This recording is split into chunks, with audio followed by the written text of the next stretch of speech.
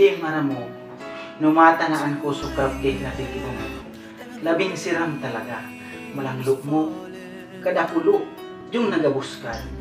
Aram Kim, sabi ko sa sarili ko, amo na kadi, kung sisay man naggibon ka ng cupcake na kadi, amo na kadi kang tamang bay na para sa ako.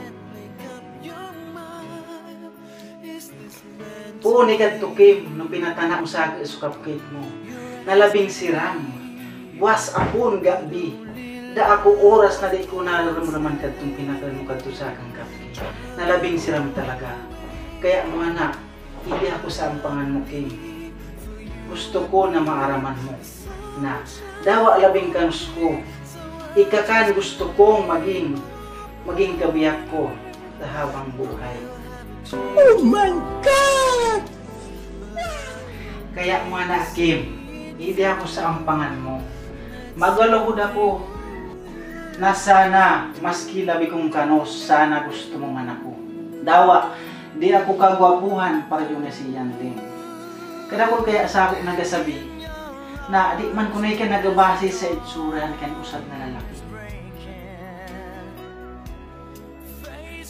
Kaya Kim, kung naon ko'y kang anak, gusto mo ba akong pakasalan?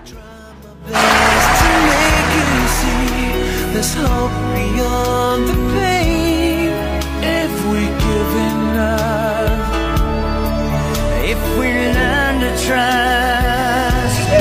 Yes, yes, yes, yes. yes.